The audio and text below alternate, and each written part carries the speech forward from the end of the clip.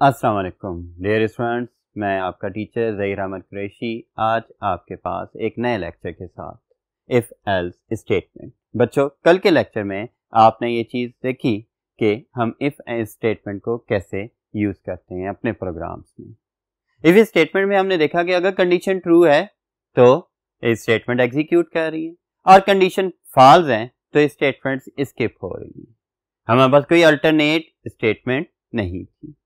आज के लेक्चर में हम ये चीज़ डिस्कस करेंगे कि इफ़ एज स्टेटमेंट क्या है और इसे हम कैसे यूज़ करते हैं। हमारे पास बहुत सारी एग्ज़ाम्पल हमें मिलती हैं like positive and negative numbers अगर नंबर ज़ीरो से ग्रेटर है या इक्वल है तो पॉजिटिव होता है।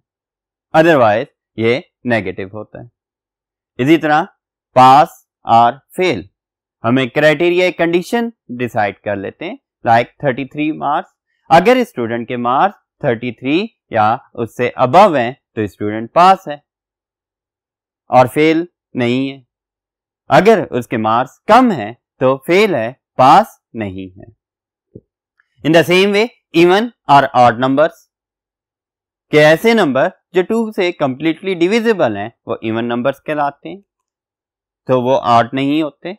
और ऐसे नंबर जो टू से कंप्लीटली डिविजिबल नहीं होते वो ऑड नंबर्स कहलाते हैं इवन नंबर्स नहीं होते। सो so, बच्चों ऐसी अल्टरनेट सिचुएशंस जिनके अंदर हमारे पास दो ब्लॉक्स में से किसी एक ब्लॉक ने एट अ टाइम ट्रू होना है और एग्जीक्यूट होना है दूसरे ने स्किप होना है तो ऐसी सिचुएशंस के लिए हमें इफ़ एल्स स्टेटमेंट की ज़रूरत पड़ती है। हम इसे डिटेल में डिस्कस करते हैं। तो इसमें देखें it is also called if with one alternate means एक ब्लॉक तो इफ़ ब्लॉक आ गया ट्रू ब्लॉक आ गया तो उसका अल्टरनेट ब्लॉक भी है।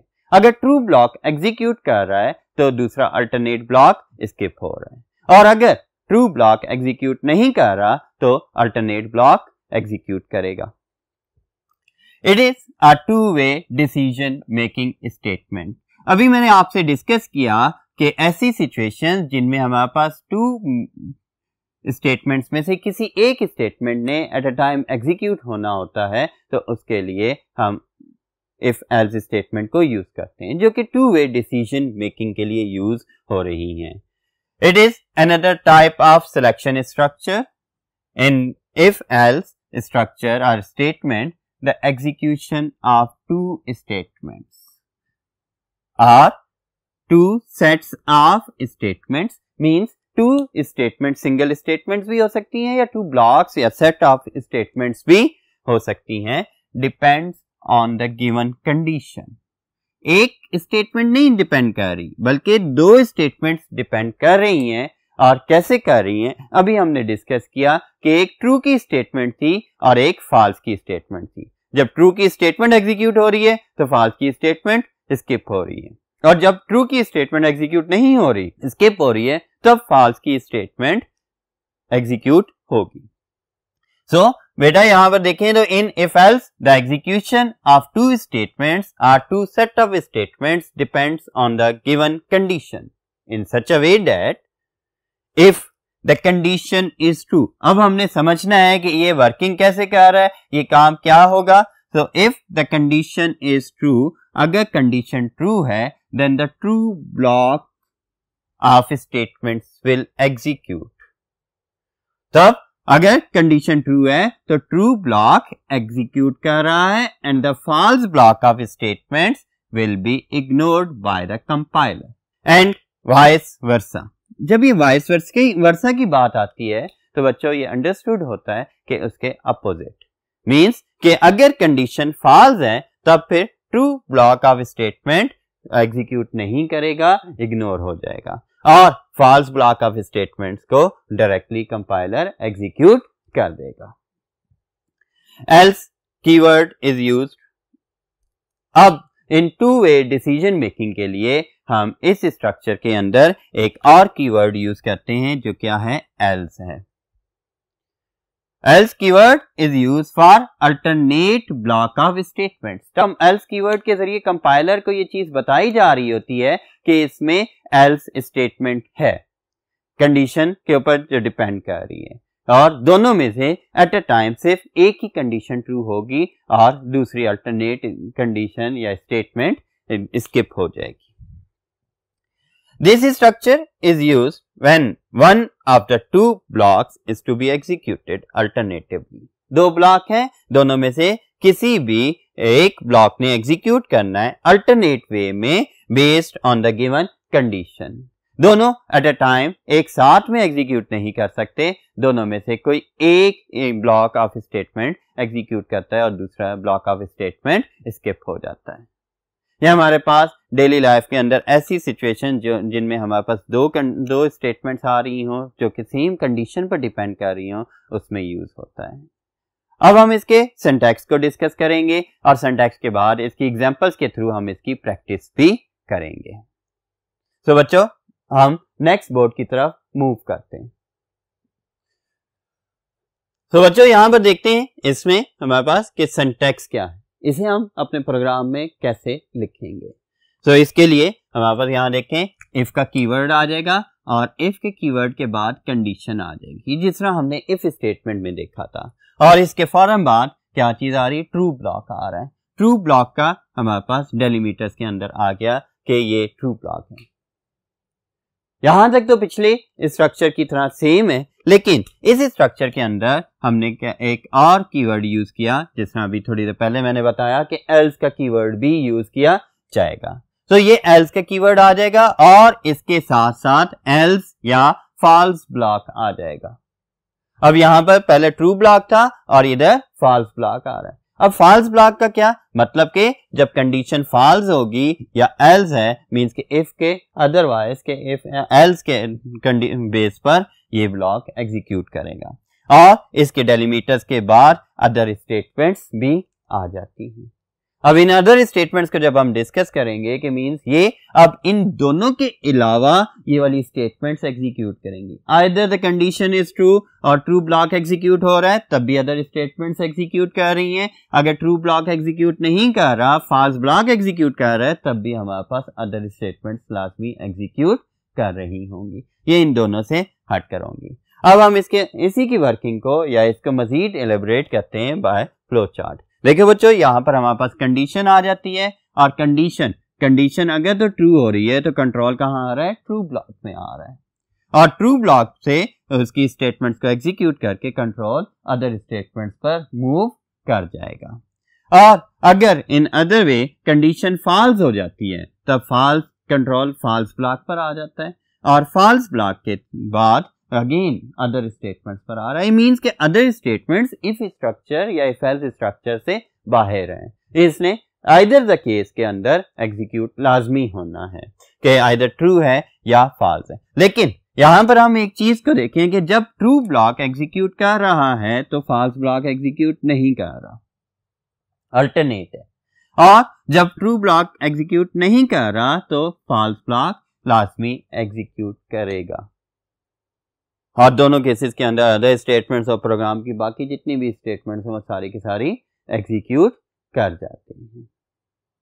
अब हम नेक्स्ट बोर्ड के ऊपर इसकी वर्किंग को डिस्कस करेंगे और वर्किंग के साथ साथ इसकी एग्जांपल्स को भी हम देखेंगे।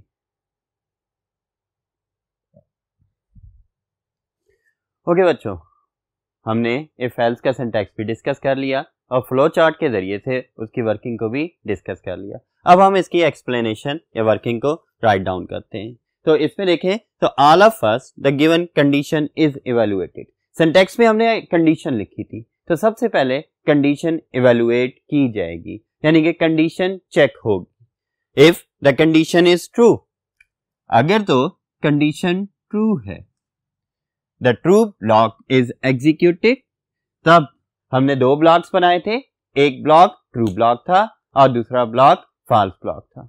अगर तो कंडीशन ट्रू है, तब कंट्रोल ट्रू ब्लॉक पर जाएगा, उसे एग्जीक्यूट करेगा and the control moves to the other statements उन्हें एग्जीक्यूट करने के बाद अदर स्टेटमेंट की तरफ़ मूव कर जाएगा, जो कि इफ़ एल्स स्टेटमेंट के बाहर लिखी गई है। बाय स्किपिंग और वो क्या, साथ में एल्स ब्लॉक को स्किप कर देगा।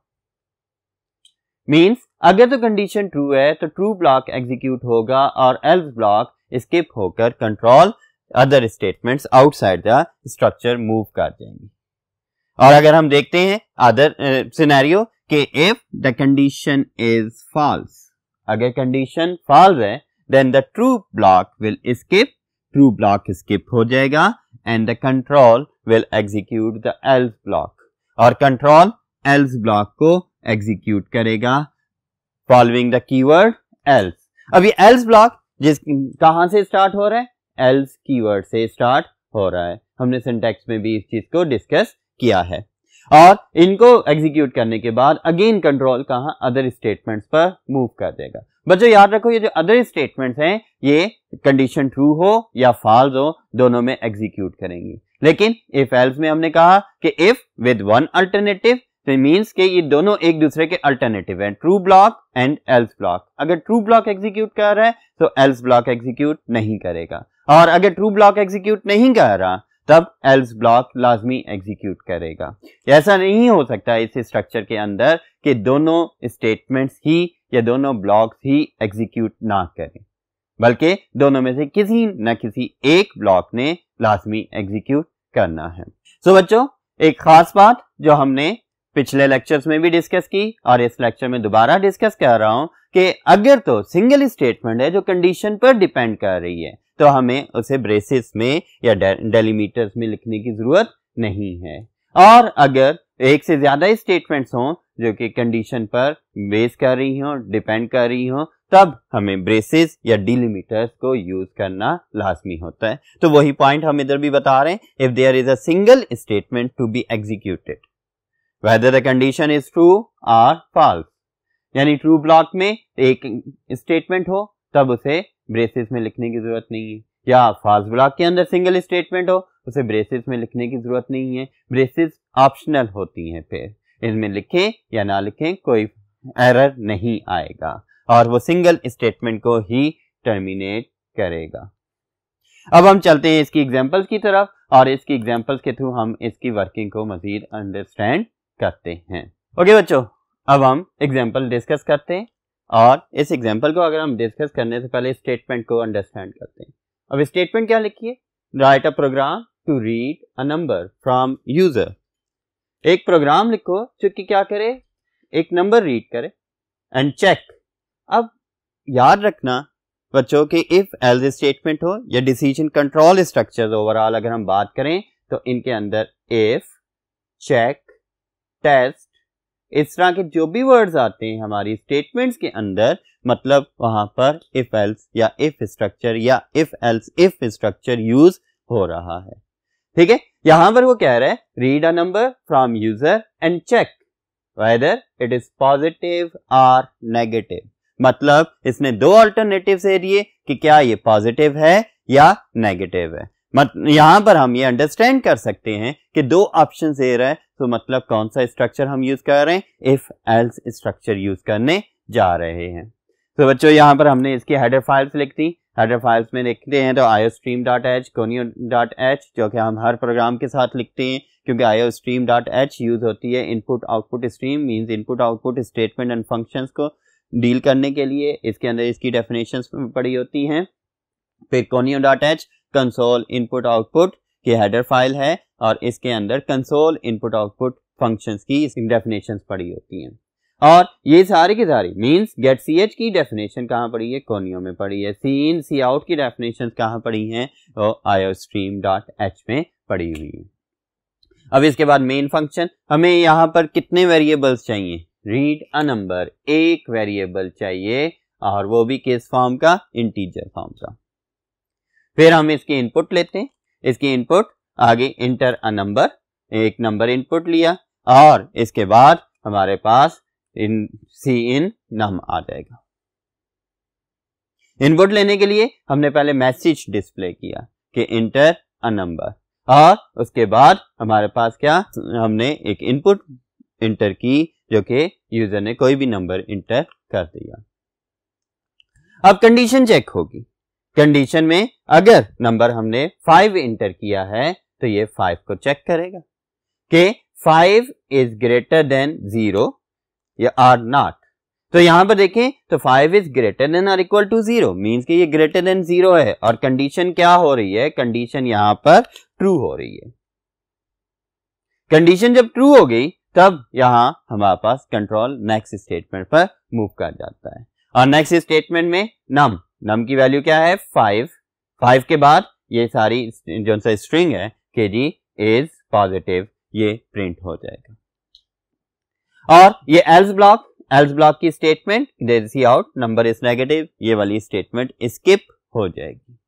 और कंट्रोल गेट सी एच पर आ जाएगा और एंड प्रोग्राम को एंड कर देगा। और इसी तरह से अगर हम देखते हैं इन अदर सिनेरियो के लिए हमने इनपुट किया माइनस फाइव अगर हम माइनस फाइव इनपुट करते हैं, तब इधर नंबर में हमारे पास माइनस फाइव आ गया और इसने कंपेयर किया कि क्या minus five greater than equal to zero है, जो कि नहीं है ऑब्वियसली तो यहाँ से ये इस वाली स्टेटमेंट को स्किप कर रहा है और कंट्रोल को कहा मूव कर रहा है? एल्स ब्लॉक पर. और एल्स जैसे हमने वर्किंग में अभी देखा कि else is followed by else keyword तो यहाँ से कंट्रोल मूव होगा और सी आउट नम नम की वैल्यू क्या आ जाएगी? माइनस फाइव इज़ नेगेटिव और इसके बाद कंट्रोल एंड स्टेटमेंट्स में मूव होगा और प्रोग्राम एंड हो जाएगा।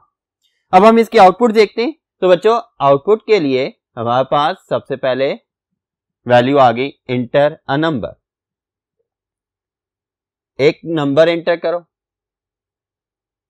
और जिसमें पहले यूज़र ने फाइव एंटर किया था अब हम डिस्कस कर रहे हैं कि इसमें यूज़र ने माइनस फाइव इंटर कर दिया।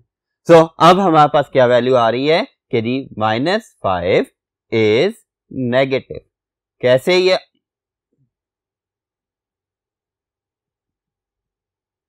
ये स्टेटमेंट क्यों आई? क्योंकि कंडीशन फॉल्स थी और पॉजिटिव वाली स्टेटमेंट स्किप हो गई थी और एल्स ब्लॉक एग्जीक्यूट हुआ था और एल्स ब्लॉक एग्जीक्यूट होने की वजह से ये स्टेटमेंट आपके पास minus five is negative print हो जाएगी।